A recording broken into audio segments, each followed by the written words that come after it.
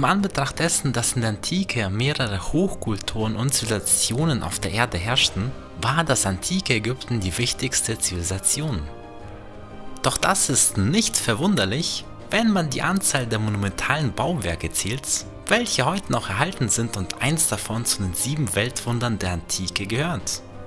Weiter wurden im antiken Ägypten unzählige Mumien, reichlich an Gold verzierter Schmuck und Masken sowie mit Farbaufzeichnungen verzierte Gräber gefunden. Heutige Forscher gehen davon aus, dass noch ca. 60% des antiken Ägyptens immer noch nicht entdeckt worden sind. Denn das ist aber kein Wunder, denn die Geschichte des alten Ägyptens umfasst ganze 9000 Jahre. In diesem Video heute versuchen wir euch in nur 15 Minuten die Geschichte Ägyptens von dem Jahr 10.000 vor Christus bis heute zu erzählen. Das ist natürlich keine leichte Aufgabe, aber wir versuchen unser Bestes. Bitte schreibt am Ende des Videos euer Feedback in die Kommentare, ob dieses Format, die Geschichte eines Landes in begrenzten x Minuten knapp und bündig zu erzählen, euch gefällt und welche Länder ihr euch wünscht. Aber nun macht es euch gemütlich und wir starten mit dem Video. Los geht's!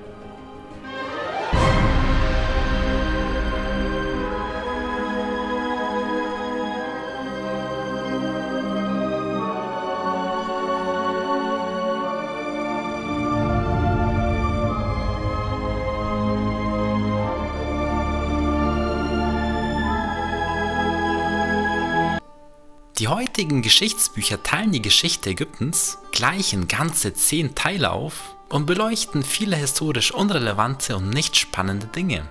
Doch heute werden wir einen anderen Weg gehen und teilen die Geschichte Ägyptens in drei Teile auf.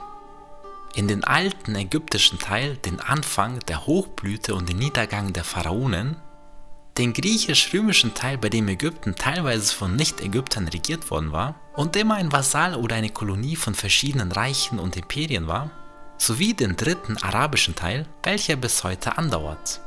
Details und einzelne Ereignisse sind in diesen Epochen natürlich großartig, doch wir haben uns es zur Aufgabe gemacht, euch nur die wichtigsten Ereignisse darzustellen. Wir fangen mit einer kleinen Einleitung zum ersten Teil an und gehen nicht 2000 Jahre, sondern gleich 12.000 Jahre zurück in die Vergangenheit.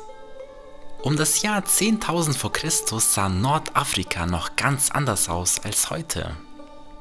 Es herrschte ein subtropisches Klima und die Landschaft ist von fruchtbaren Büschen, Faunen und Gräsern geprägt. Um das Jahr 8000 vor Christus setzte in Nordafrika und auch in Ägypten eine Klimaveränderung ein und die Gegend wurde trocken und es bildeten sich Savannen.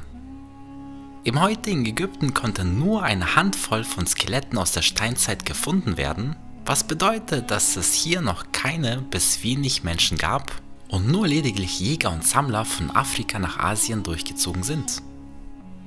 Heutige Forscher gehen davon aus, dass die ersten Menschen im sogenannten Nabta im südlichen Teil des heutigen Ägyptens um das Jahr 6700 v. Chr. sich ansiedelten.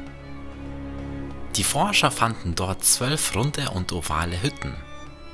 Es waren also sesshafte Hirten, die mit ihren Rindern dort gelebt haben. Um das Jahr 5600 v. Chr. erschienen Schafe und Ziege in Ägypten als neue Haustiere, dennoch stammte der überwiegende Teil des Fleisches nach wie vor von Wildtieren. Genau wegen dem Nil sind auch viele Menschen in diese Gegend gezogen. Denn die ersten Menschen in Ägypten nannten dieses Land das Geschenk des Nils. Der Nil hatte eine Flut- und eine Ebbephase. Als die Flutphase zu Ende ging und der Wasserstand sinkte, war der feuchte Boden, der zurückblieb, sehr fruchtbar. Die damaligen Menschen bauten auf diesem beinahe alles an. Getreide, Gerste, Kichererbsen oder Granatäpfel wurden gesät, angebaut und geerntet. Dieses Prozedere wiederholte sich jedes Jahr auf neue und die Menschen hatten immer genug zu essen. Genau aus diesem Grund stieg die Bevölkerung massiv an und ab dem Jahre 4000 v. Chr. gab es immer mehr kleine Siedlungen am Nil. So gab es zu diesem Zeitpunkt schon die ersten 20 Ministaaten in Ägypten und alle hatten dasselbe Problem. Denn die wachsende Bevölkerung brauchte immer mehr Nahrung. Dieses Problem zu lösen, wurden komplexe Bewässerungskanäle und Wasserspeicher gegraben, um noch mehr Fläche im Hinterland zu bewirten, und es wurden große Viehhaltungsareale etabliert, welche mit Wasser und Heu direkt von den Feldern am Nil versorgt wurden. Des Weiteren wurden Handelsbeziehungen zu Nachbarstädten aufgenommen. Dieses ganze Prozedere ließ gleich zwei große Reiche in Ägypten entstehen, nämlich das nördliche Unterägypten und das südliche Oberägypten. Doch im Laufe der Jahrtausende wird es immer wieder Krieg zwischen diesen einzelnen Staaten geben. Der König Menes wird um das Jahr 3000 v. Chr. erster König eines gesamtägyptischen Staates. Dieser gilt als der erste Pharao und beginnt somit unter den Historikern genannte Zeit der Dynastien. Genau das ist der Beginn des alten Ägyptens, welcher euch ziemlich bekannt ist. Das bedeutet mit den Pharaonen, Pyramiden, Tempeln und Mumien. Unter den Historikern wird diese Zeit in das alte, mittlere und neue Reich eingeteilt. Das Leben als Pharao, Leben eines Pyramidenbauers und weitere Themen über das antike Ägypten haben wir in zahlreichen Videos auf unserem Kanal näher beleuchtet und werden uns deshalb in dieser Ausgabe nur auf die wichtigsten Fakten und Ereignisse konzentrieren. In dieser Zeit der Pharaonendynastien wurde Ägypten zu einem richtigen Staat, einer für damalige Zeit entwickelten Hochkultur sowie einer regionalen starken Militärmacht. Das Wichtigste in dieser Zeit waren die Errungenschaften Ägyptens im Vergleich zum Rest der Welt. Die Rede ist nicht nur von dem Bau der Pyramiden, obwohl diese natürlich monumental und riesig sind. In der Zeit des Alten Reiches, welches von den Jahren 2700 bis 2100 v. Chr. andauerte, erfanden die Ägypter die Geometrie, den Sonnenkalender und beschäftigten sich sogar mit der Forschung der Sterne. Denn die Pyramiden von Gizeh zum Beispiel sind das Ergebnis dieser Forschung und Errungenschaften. Denn der Bau dieser Kolosse wäre unmöglich, ohne das Wissen über die Physik, Geometrie und einfache Bauingenieurskunst. Zum Beispiel wurden lange Wasserkanäle zum Transport von tonnenschweren Pyramidensteinen auf Holzflossen gegraben. Genau in dieser Zeitperiode wurden auch die großen Pyramiden von Gizeh gebaut. Weiter lernten die alten Ägypter in dieser Zeit, wie man Brot backt, sowie aus diesem ein Bier braut. Doch zum Ende der Zeit des Alten Reiches wurde das Klima in Ägypten trockener und die Ägypter gieriger. Dies führte zu Hungersnöten und Bürgerkriegen und das Land zerfiel wieder in viele Einzelstaaten. Das Mittlere Reich, welches danach folgt, ging von den Jahren 2100 bis 1600 v. Chr. Der Kampf um die Macht ging weiter und als Ergebnis herrschten lokale Fürsten, welche aber dem Pharao unterstellt waren. Und auch hier gab es Errungenschaften.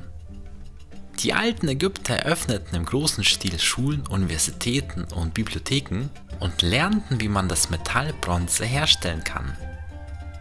Des Weiteren wurde das Schreiben auf Papyrus etabliert und es gab sogar eine ganze Sammlung an Buchstaben und Symbolen.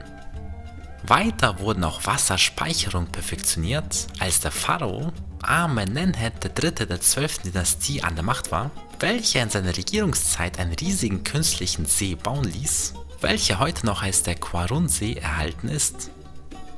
Dieser wurde von den alten Ägyptern zur ganzjährigen Bewässerung der Felder genutzt. Doch später ging auch natürlich das Mittlere Reich unter. Über die Ursachen wird heute viel gerätselt, doch wahrscheinlich spielten Asiaten eine Rolle, welche in das Nildelta eingewandert sind und von dort aus über das untere Ägypten die Macht übernommen haben. Nach ca. 100 Jahren des Krieges gegen die asiatischen Besatzer konnten diese vertrieben werden und Ägypten wurde wieder geeint. Diese Zeit wird auch als das Zeitalter des Neuen Reiches bezeichnet, welches von den Jahren 1500 bis 1000 v. Chr. ging und Ägypten sich aus der Asche erhob. In diesem Zeitabschnitt lebten die heute bekannten Pharaonen wie Tutanchamun, Ramses I. und Ramses II. sowie die Pharaonen Nefertiti. Weiter erreichte die Reichsausdehnung ihren Höhepunkt und ging bis zur heutigen türkisch-syrischen Grenze. Jetzt wurden die Pharaonen nicht mehr in Pyramiden beerdigt, sondern in versteckten unterirdischen Gräbern. Denn schon damals waren Grabräuber eine Plage. Doch die Gräber wurden dafür noch reichlicher mit Gold, Schmuck und anderen Schätzen gefüllt. Nach dem Tod von Ramses III. war das Land ab dem Jahre 1150 v. Chr. von Krisen und Bürgerkriegen gekennzeichnet. Es folgten viele Pharaonen, welche nur eine kurze Regierungszeit hatten, und das Land am Nil teilte sich wieder in viele Mini-Staaten auf. Nach der Vertreibung der Assyrer konnte Ägypten im Jahre 660 v. Chr. Unter dem Pharao Psametich I. wieder geeint werden. Jahre 539 v. Chr. wurde Ägypten ein Teil des Achämenidenreiches und ab dem Jahre 525 v. Chr. eine Kolonie des Persischen Reiches. Das ist ein sehr wichtiges Datum, denn von hier hörte das alte Ägypten de facto auf zu existieren. Nie wieder wird Ägypten eine derartige Unabhängigkeit und kulturelle Blüte mehr haben. Doch die Macht wird Ägypten unter dem Makedonier Alexander dem Großen wieder bekommen.